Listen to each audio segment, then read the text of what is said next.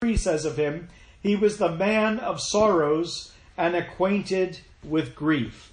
Well, Paul was arrested for his preaching. He was taken through a series of trials, and finally, he used his Roman citizenship to appeal to the highest court, which was to stand before Caesar Nero in those days and to make his case.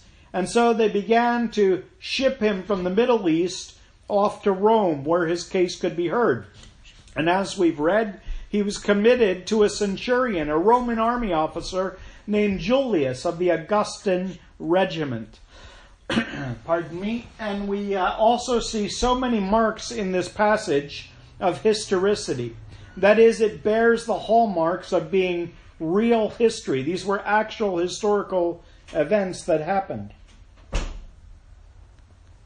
Now, Paul was delivered to this soldier, by the soldier and his troops, to a ship at Adramyttium, we read there in verse 2. And this was a famous harbor in the ancient world, and it's been excavated, and uh, the archaeologists know about it.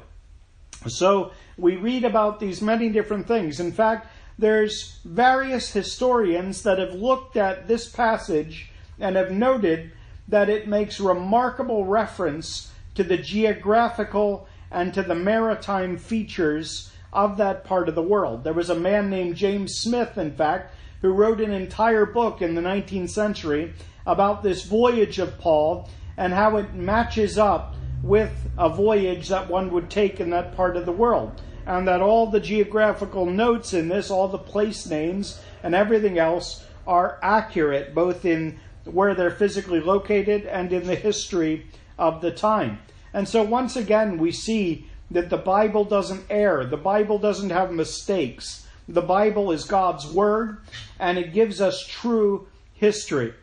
Now, happily, Paul was accompanied by a good friend in verse 2. We read about Aristarchus, a Macedonian, who is mentioned first back in chapter 19 of the book of Acts, or maybe 18 it is. I think it's 19 though. You can look that up.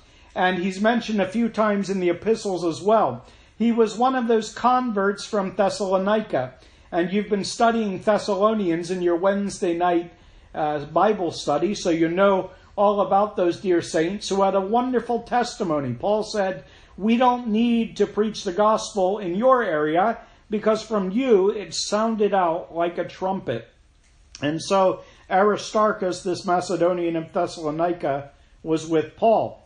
And verse 3 the next day we landed at Sidon. That's another famous city in the Bible, the area from whence Jezebel came from in the book of First Kings, and a city of the Phoenicians, who were a great seafaring people. So all of this is not surprising, but we see God's kindness to Paul. Look at verse 3. It says, Julius treated Paul kindly and gave him liberty to go to his friends and receive care. Now, obviously, he's not being treated like public enemy number one. Julius can see he's not a dangerous criminal, nor is he a flight risk. He's not going to run away. And so he gives him certain liberty there to go to his friends and receive care. Well, you might say, what friends? Who could Paul possibly know in the territory of Phoenicia? Well, the book of Acts is wonderful in that it shows us what a great big body the body of Christ is. And if you're not part of the body of Christ, I feel sorry for you. You miss out on so much encouragement and so much help because the body of Christ, also known as the church, is composed of people who've been born again by faith in the Lord Jesus Christ. And the body ministers to itself in love, the Bible says. We get these wonderful descriptions in 1 Corinthians 12 and Ephesians 4 of the body with its various parts, just like the organs of our physical body work together to minister to the health and good of the whole body, so the different individual believers work together in the church to minister to each other, to use the gifts that God has given them, and to work in each other's lives. And so, all the way along on this journey, right into the next chapter, when Paul gets to Rome, he's finding believers, and believers are receiving him, and believers are showing him hospitality. And that's a wonderful thing. It's a great hallmark of true Christianity when Christians show their practical love one to another through hospitality. And so they go from there in verse 4 when we put out to sea from there, we sailed under the shelter of Cyprus because the winds were contrary. And you get the sense as you read these verses that it was slow going for them. They're pushing against the wind. They're trying to find a fair wind. They're trying to use the leeward side of the islands to shelter them as they sail along. And doesn't that just remind us of our lives sometimes? That sometimes it seems like we're making very little headway. Our progress is greatly hindered. We might feel that way in spiritual things. We might feel like our growth is very slow growth. But if you're a believer in Christ, what a wonderful thing it is to know that he who has begun a good work in you will be faithful to complete it unto the day of Christ Jesus. So the Lord's not going to scrap you. He's not going to finish the job halfway through. If you're a believer, as one of our hymns says, the work which his goodness began, the arm of his strength shall complete. His promise is yea and amen, and never was forfeited yet. Yes, I to the end shall endure, as sure as the earnest is given, more happy, but not more secure, the souls of the blessed in heaven. What a wonderful security the believer has in Christ. But you say, yes, I know about that, Keith. I know that that inexorable spiritual progress will happen. That eternal life that the believer possesses is organic. It's a growing thing. It's a living thing. Our relationship with the Lord grows as we spend time in the Word of God, as we pray with Him, as we go through life's journey and we face trials and tribulations as well as the good things of life. We get to walk with the Lord Jesus like Enoch walked with God. And we wait for the day when the Lord will descend from heaven with the assembling shout and the voice of the archangel and the trump of God to catch us up to be with Him in the air. But you say, Many times my physical progress is also hindered. Many times I run into problems and difficulties. There are storms that hit me in life and they batter me. Well, Paul knew all about that. Not just physical storms, but also spiritual opposition and also very pragmatic hindrances in his daily life. And yet there they were sailing on. Now, like many of us today, in fact, I, most, if not all of us, are to some degree subject to the dictates and the will of others. The government makes certain demands on us that we must obey. And there's certain demands employers can put on us, or school teachers can put on us, and administrators. We have people that can curtail our activities, or that can determine when and where we can go someplace or cannot go someplace. And Paul certainly knew what that was about. Look at verse 9. Now, when much time had been spent and sailing was now dangerous because the fast was already over. Now, we're talking about the fall. We're getting well into October, and it's that time when you know, June through November in your part of the world is hurricane season. And same thing with them. That part of the world, late autumn, mid to late autumn, is very dangerous for sailors. The Bible explicitly says it was dangerous because the fast was over. And Paul advised them, verse 10, saying, Men, I perceive that this voyage will end with disaster and much loss, not only of the cargo and ship, but also of our lives. Now, the word he uses for perceive there is the word from which we derive theoretical or to theorize or a theory. It has the idea of coming to a conclusion based on careful and close observation. And so Paul had been looking at things and considering things, and he said, You know, this is a bad move. We really shouldn't leave this place. But Paul was one as an apostle of Christ who also was a prophet, who also had the Lord revealing things to him. So it's quite possible that already the Lord had begun to give him an inkling of what was to come. Paul didn't know the future perfectly and didn't know all the details, but he knew this wasn't the right thing to do or a good thing to do. He knew this would be very perilous. And yet, verse 11, nevertheless, the centurion was more persuaded by the helmsman. That's the guy who is the pilot, the driver of the ship. He determines where they're going to go, where they're going to navigate, and ultimately the safety of the ship. And the owner of the ship, he was on board as well, probably making sure that his cargo of wheat got sold for a good price when they got to their destination. But they were not persuaded, uh, they weren't persuaded by Paul. The people on the ship, the Roman soldiers, were more persuaded by the helmsman and by the owner of the ship. After all, one would say these must be the experts. These are the men who know about maritime affairs. They know about sailing. They know about these waters. What do you know, Paul? You're just a Christian. You're just a preacher.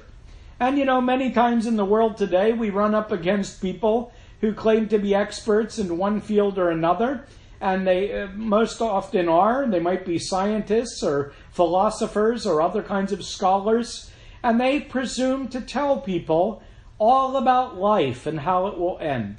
Well, I want to tell you, friends, with all due respect to the experts, God gives us a brain, and God wants us to use the brain we have for the glory of God. Whatever capacity He's given to us, He wants us to develop it to the maximum to the glory of God. Paul himself was an exceedingly brilliant man. He was a multilingual, very well educated man with the equivalent of multiple doctor's degrees. He was a very smart individual. And the experts here were saying, no, no, we discount what you're saying. Now, if the expert's talking about their field, I'm willing to listen. But when we talk about where the world has come from and where the world is headed, that is something that is very clearly beyond the purview of science. That is clearly something that goes beyond what philosophers can know, because science means knowledge. The very word means knowledge, and it's based on observation and things that one may test. It is empirically verified, therefore. And a scientist was never around to observe the creation of the world. They can see certain things about the universe and they can make deductions about the creation of the world. But if we really want to know where the world came from, we have to go to the Bible. We must go to this book, God's Word, because the creator of all things tells us where the world came from and where it's headed. Just like he was indicating through Paul where this ship was headed, and yet the experts wouldn't listen. Wouldn't it be an awful thing if, because of our pride, because we thought we had so much self awareness and so much personal knowledge, that we would discount the word of the one who has all treasures of wisdom and knowledge hidden within him. That is the Lord Jesus Christ. Colossians 2 says, In him are hidden all the treasures of wisdom and knowledge. Proverbs 1 7 reminds us, The fear of the Lord is the beginning of wisdom. Uh, that's where we come to understanding. Proverbs 3 5 and 6 says, Trust in the Lord with all thine heart, and lean not to thine own understanding. In all thy ways acknowledge him, and he shall make straight thy paths. Well, I'll tell you, folks, that these people on board this ship were going to have a most circuitous path because they weren't listening to God. And that's how life goes. When you don't listen to God, when you don't seek His will, you end up in some crazy twisting, turning roads. You end up sometimes in alleys that are blind alleys. You hit a dead end. Now, what we have to do is repent and turn to God to get on the right road. After all, the Lord Jesus said it ultimately boils down to two roads and two destinies. You're either on the broad road that leads to destruction. You don't need to do anything to get on that road, friend. You're on it. You're condemned already, the Bible says, because anyone who is not in Christ, anyone who doesn't have a living relationship by faith with the Lord Jesus Christ, is condemned. They are dead in trespasses and sins. They're on their way to judgment. But wonderfully, the Lord Jesus, the judge of all the earth himself, came to be the Lamb of God who could save us from judgment. In other words, by giving himself as a sacrifice. Uh, it says that it's unable to start live video, so we are going to try again. Sorry, folks. Pause for technical difficulty if you can hear me.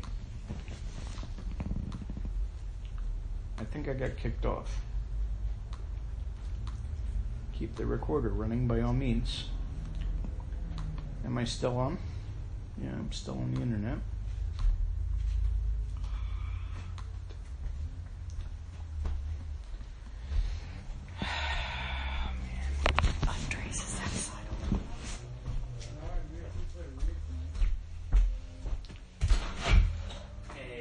I just got kicked off. so it keeps cutting in and out, in and out a lot. So Oh, I think okay. it's because of the hot. Do you guys have a hotspot? That's what we're using because Because the Wi-Fi was We terrible. used the Wi-Fi during the breaking of bread. We couldn't even get through a whole song without it breaking up. Oh wow, wow. And so when we switched to our wi- our Wi-Fi hotspot, then who, who do you have? AT&T, Sprint? I have Verizon Visible. Really? Yeah. Okay, I'm on the Wi-Fi now. Which one? Ours? Yep. I don't. I, don't, I was gonna put our like my my hotspot. I'm But your Okay, hotspot- let's do your hotspot. Okay. How long ago did you? Um, probably like three, two months ago. Okay. Okay, So it's Jason. turn turn I- yours on. Yeah. iPhone XR. Uh, sorry, It looks great. it doesn't show What's up. that? It keeps good. the rest of us from freezing to death. Uh, I've got hotspot 81 CE. E. Is So that it'll you? be Jason's uh, iPhone XR. You'll see it. Hmm. No. No, not at the moment. We should have just stuck with um, There it is. Zoom. Ah. Zoom was would have been a better option. Sorry. Nothing. You're not 81 CE, definitely, right? I don't see Jason anywhere. No. I see Mosin, Spa, PW Services, and Boulevard, and my wife's phone. Man. Okay, let me turn mine on. Do you have hotspot? Nice, weird. Yours is. weak. What happened with the Wi-Fi here from, from the chapel? It'd be great just to do Zoom. Like if we had like a link. Okay. I can get back on Zoom if you want. Yeah, with the same link from previously. Yeah. On Wednesday, Uh, well, the one for the Lord's Supper, would that work okay? the Lord's Supper. Yeah. Yeah, let's do that. I'll, I'll tell him right now. Okay, sorry about this. You want to stick to the same your your hotspot Yeah, yeah, yeah. Why don't we do that? Because I'm telling you, the Wi-Fi is working terribly the Okay. last few days. Alright, Yeah, let me go over there now. Now it says can't connect to this network with yours. Here.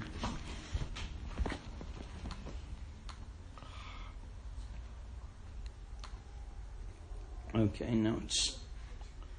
Did you turn it off? No. Oh, Still on. Turn it off and turn it on again. Okay. It's got one connection on okay. now. Yeah, I'm connected. Thank you. Is the recorder still running? Yes. Okay. All right, here we go.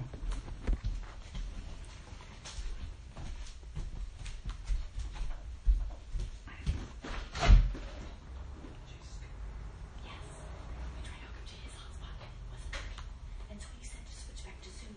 Okay. All right. We can do that. Okay. Let us know.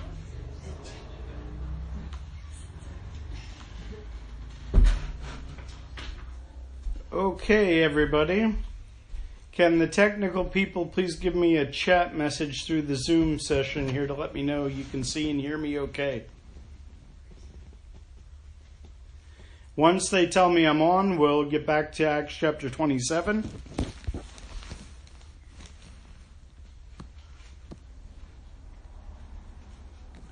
Acts 27. Yes, I'm good. Okay, good. So, as we've been saying, Paul has been on this difficult journey, this sea voyage, and I didn't intend a technical illustration this morning, but we're on a difficult journey this morning as well. Just keeping the tech moving sometimes is a challenge, isn't it? And this is a great indicator of what it's like in this world, that we face difficulties and hindrances of one sort and another. And yet, Paul was there trying to exhort those around him to take heed to what was going to happen. And we'll see that becomes an increasingly Godward message. Now, Paul advised them that this was going to be a perilous voyage and they should stay there, but they discounted that. They said, no, there's a better harbor called Phoenix in verse 12. Not Arizona. You'd be hard pressed to find oceanfront property in Phoenix, Arizona. This is obviously another phoenix named after that bird that came to life again. And they wanted to go to this harbor of Crete called Phoenix because it was a better harbor. Probably had better seafood restaurants, better hotels, you name it. Kind of like the Pembroke Pines of its day, I suppose. But anyway, they started out to go, and initially it seemed like things were going well. Verse 13 When the south wind blew softly, supposing that they had obtained their desire, putting out to sea, they sailed close by Crete. But not long after, a tempestuous headwind arose called Euroclydon. Now, at first, things seem to go well, and that's how it is. Life in this world, so many people think, oh, it's going well for me, everything's okay. Sometimes life seems pretty smooth. Sometimes it seems like it's coming up roses. Sometimes we seem to not really struggle. And there are certain people, even though they live a life that doesn't please the Lord, they live an ungodly life. It seems like everything they do prospers in this world. Psalm 73 talks about that phenomenon. And the writer that the Holy Spirit used there, Asaph, complained to the Lord about it. How is it that the ungodly seem to have such easy lives? But then when he gets to verse 17 in Psalm 73, he says, Then I went into the sanctuary and I considered their end. And so you have to look at it from the eternal perspective. As Jesus said in Matthew 16, What shall it profit a man if he gains the whole world but loses his own soul? It doesn't matter how seemingly problem free your pathway is in this planet, and no one has a problem free pathway, but some appear to have it easier than others. But the question is, friend, how is going to be your eternity? Where are you going to arrive? What destination are you heading to? Are you on that broad road that leads to destruction, or are you on the narrow way that leads to life? The Lord Jesus said, He's the door. If any man by him enter in, he will have eternal life. And that's the way to go. You've got to go to the Lord and say, Lord, I've been walking my own way, but I can say with Isaiah 53, all we like sheep have gone astray. We've turned every one to his own way. And the Lord hath laid on him the iniquity of us all. So we have to say, Lord, I've been wrong. We need to repent, to look at our sin and not only confess that we're sinners, but say, Lord, I want to be saved from that. I want to turn from my sin and I want to be saved from it to live a life for God, to be in a new relationship with you by faith in Christ. And if you cry out to the Lord, whoever you are, He can move you from the wrong road to the right one, from the broad road that leads to destruction to the narrow road that leads to life, by the great saving work of our Lord Jesus Christ. Put your faith in Him and he will save you. Believe on the Lord Jesus Christ, and thou shalt be saved, uh, says the book of Acts, chapter 16.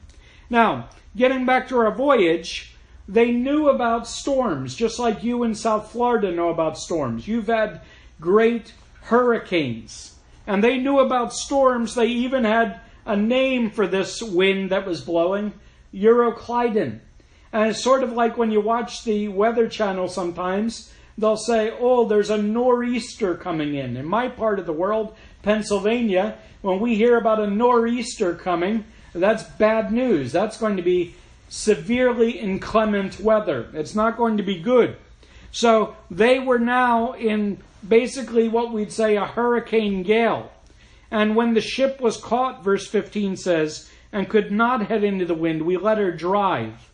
And running under the shelter of an island called Clauda, we secured the skiff with difficulty. So they were hauling along a smaller boat, kind of like a lifeboat, and they had to actually haul that in on board and use cables to undergird the ship to keep the planks from coming apart. They'd wrap these cables around it. I don't know all of the mechanical procedure of that, but they began to take extreme measures to try and save the ship. And you notice fear enters in in verse 17. Fearing lest they should run aground on the Syrtis sands, they struck sail and so were driven.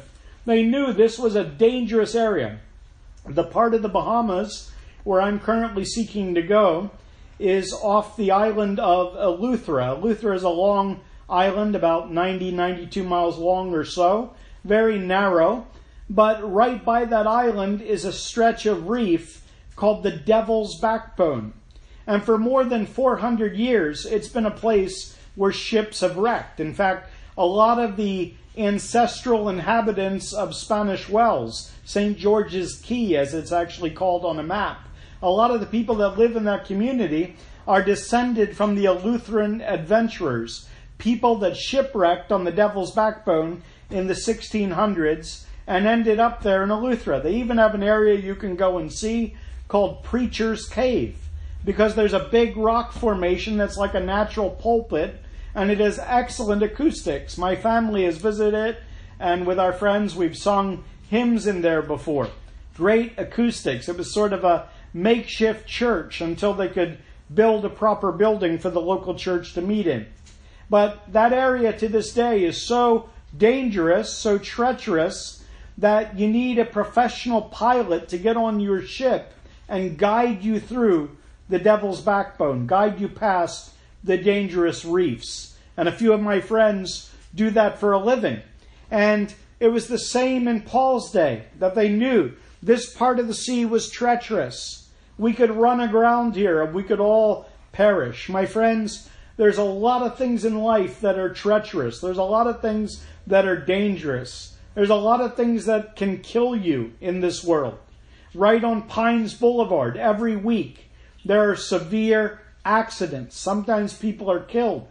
Or down at the ocean, there are people that go in there thinking they're just going to have a swim and they don't come out. They drown. They have a heart attack. Something befalls them. Uh, of course, we know about COVID 19, but there are many other maladies that can happen to our physical bodies. We are actually very vulnerable. Even when we're at the pinnacle of health and strength, we have to realize what Daniel told King Belshazzar in Daniel chapter 5. He said, The God in whose hand thy breath is, and whose are all thy ways, thou hast not honored.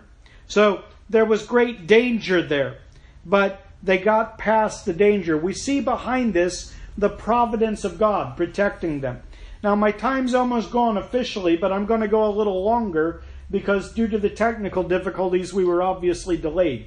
So bear with me. We have about 10 minutes to go, just so you can recalibrate your mental clock. Verse 18 says, Because we were exceedingly tempest tossed, the next day they lightened the ship.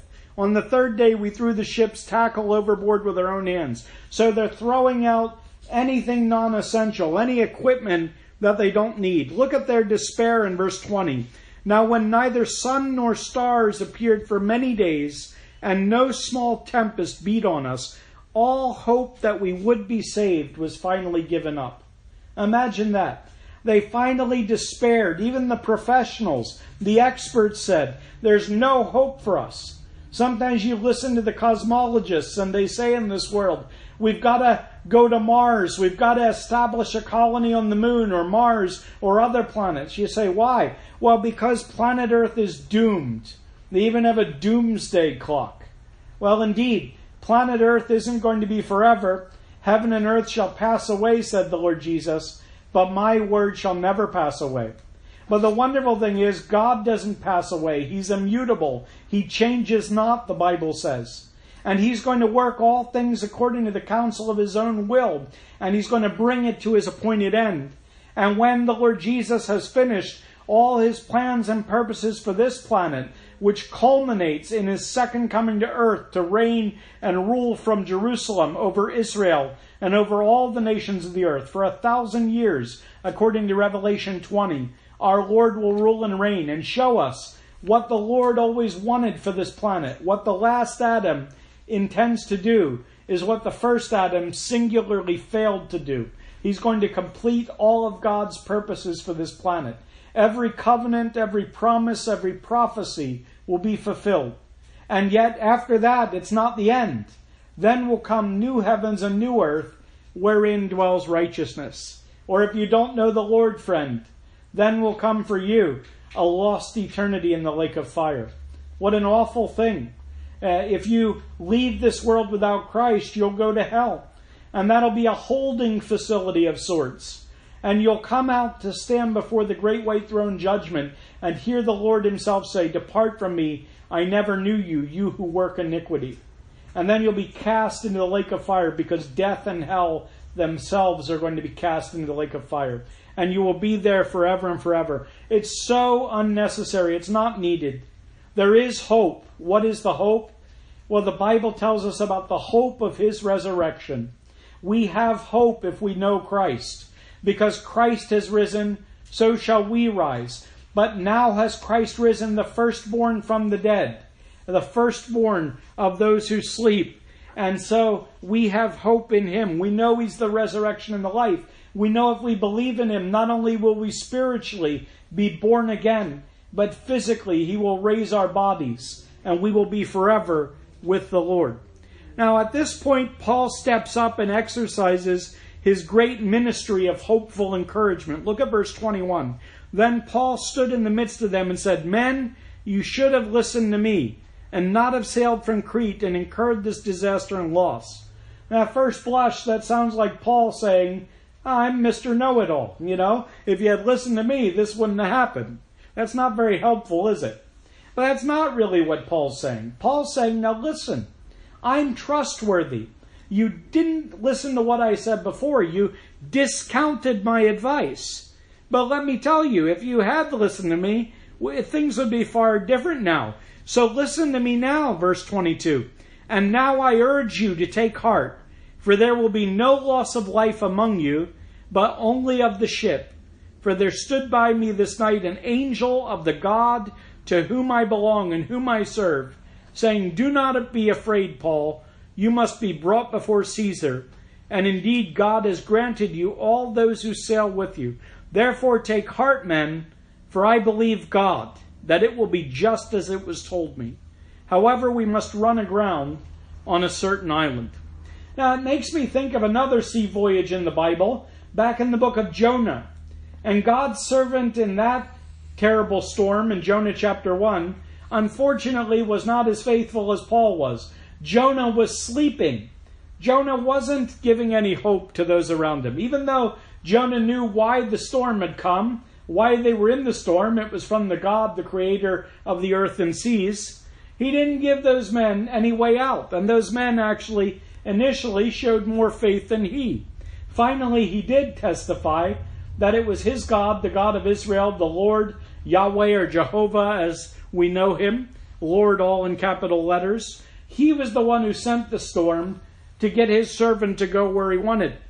And there were men on that ship, in spite of that unfaithful witness Jonah, there were men that came to faith in the living God that day and were delivered from the storm. Now, far different Paul. Paul was a devoted believer.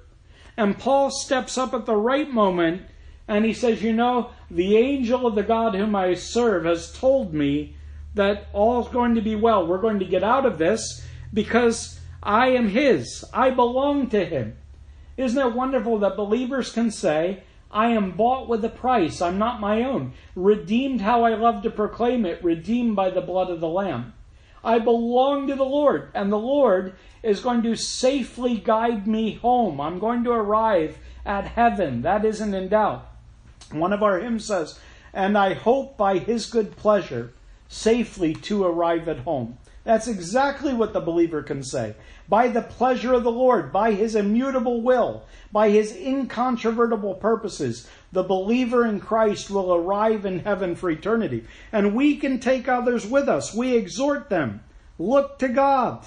Do not be afraid, says Paul. Because, uh, said the angel rather to Paul, because you must stand before Caesar. Paul, you've got more work for me to do. You've got to be a witness to me. I'm going to bring you through the storm. And even though we know eventually Paul would give his life as a martyr for the Lord Jesus Christ, we know that his time on earth was not ended until God finished his work in and through him. And it's the same thing we can say that each day we're given, it's a day to live for God. It's a day to serve him. It's a day to know him better. It's a day to grow in him. And it's a day to witness to others. But look at what it says there in the second phrase of verse 24. Indeed, God has granted you all those who sail with you. Obviously, Paul had been praying for them. So God granted his request. You want these people to be saved through the storm? All right, God says they'll be saved. And you know, everybody on the ship was saved from this catastrophe. But he says we must run aground on a certain island. I wonder, are we praying for those with us? Are we praying for those in our family? Are we praying for those in our neighborhood? Are we praying for our coworkers and fellow students? Whatever stage of life you're at, if you're a believer, it is incumbent on you. It's your sworn duty to tell others about the Lord Jesus and to pray that they receive him, to come along with you and be saved from the tremendous peril they're in.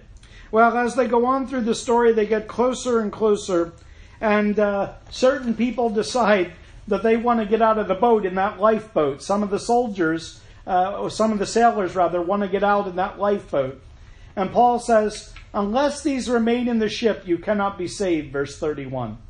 Now, it could be that he was saying we need those sailors' skill to help us navigate the ship into the island where we're going to run aground. Uh, it may be as simple as that, but I think it was also this. God was shutting them up to a scenario where it would be evident afterwards that deliverance had come by one way only. They had to believe the word of God through his servant. They had to listen to the good news they heard from Paul and believe that in order to be saved. This wasn't going to be a mixture of human effort saving them and God's work saving them. Salvation is never like that. Salvation is of the Lord. That's what Jonah said in Jonah 2, and Romans 10 reiterates that sentiment. It's by the Lord we're saved. We can't save ourselves, nor can we help Him save us. Now, Paul in verse 33 encourages them. Today's the 14th day. You've waited and continued without food and eaten nothing. Therefore, I urge you to take nourishment, for this is for your survival, since not a hair will fall from the head of any of you. So he listened to the word of God himself and believed it. And he said, you know, since God is going to deliver us, you've got to keep up your strength. You've got to keep eating. You've been too busy and harried and worried to eat anything. Now eat. And he took bread and he gave thanks to God, verse 35 says. It reminds us of our Lord Jesus so often taking bread and blessing it. How he did when he fed the 5,000 men plus women and children. How he did when he fed 4,000 plus women and children. How he did on the night in which he was betrayed at the Last Supper. When he instituted the Lord's Supper. And he said, Take, eat, this is my body given for you. Not his literal body, but a symbol of that sacrifice that he was going to make on the next day, and that cup that spoke of the new covenant that he was making with his people. And so they were all encouraged, verse 36, and they took food themselves. And there were in all 276 people on the ship. Now there was one last deliverance when they were just coming in to within reach of the island where they would run aground. And the ship beached itself and it started to be pummeled by the waves and break apart. The soldiers said, Let's kill the prisoners so no one gets away. But the centurion wanted to save Paul. You see, this is like so many times in the Bible when God gives his people good favor in the eyes of some authority. And we need to pray for that in these difficult days. That the authority would look on us well and would grant us the freedom to serve the Lord openly. But if they turn against us, we remember what the Bible says we must obey God rather than men. Now the centurion wanted to save Paul, verse 43 says, so he commanded that those who could swim would jump overboard, and some would float on pieces of wood, and they'd all get to land safely. Well, that's how it goes in this voyage. Though there were great dangers, God's servant is brought through safely. God is able to protect his people and he's able to deliver. And through Paul, he providentially delivered this entire ship. I wonder how many of those people trusted in the living God that day. How many came to faith in the Lord Jesus Christ because they saw this amazing rescue that the God of heaven wrought for them? And I wonder if there's someone listening today. Maybe you're in the chapel building, maybe you're listening virtually Maybe you're hearing it on recording later. And God's speaking to your heart, and He wants to deliver you from your sins and the wrath your sins deserve, from God's righteous judgment against what you are and what you've done. And you want eternal life. You want to know the Lord Jesus Christ, the Son of God. You want to be with Him in heaven forever. Well, the Lord says, Call on me, and I will save you. Call on the name of the Lord, and you'll be saved. Indeed, I think probably many trusted in the living God there that day, but we can say God preserved and encouraged His servant. And many of you believers are discouraged today, perhaps. You look at the hindrances, you look at the problems, you look at the storms that are hitting your life right now. Well, you have to look above the storm, dear brother, dear sister. You have to look to the God who is over all the storms. The one, as the disciples learned earlier, who even the wind and the seas obey him. He can speak the word and make a great calm. And in an instant, he can stop the storms. He can stop the severe tribulations. And you know, one day in an instant, He's going to do that when He comes to receive us to Himself. That day might be today. And so, look up. Your redemption draws nigh, dear child of God. Look to the Lord who can carry you through the storm and who can encourage and strengthen you. Let's pray. Father, we're thankful for thy word. We just pray that in spite of the technical disruption, that it would sound forth loud and clear and that thy people would be encouraged at the sovereign God who delivers us in the storms of life, and also for any that are lost, young or old, Father, who are listening, that they would be convicted of their sin and their need of the Savior, that they can never weather the storm by themselves. They can't escape by their own efforts or their own knowledge and wisdom. Indeed, they need to throw themselves on the Lord Jesus Christ and say, God, be merciful to me, a sinner. We know there's mercy with the Lord because he died for our sins on the cross and rose again for our justification. So we pray that they might go to him today. We ask this in the Lord Jesus' name and for his glory. Amen.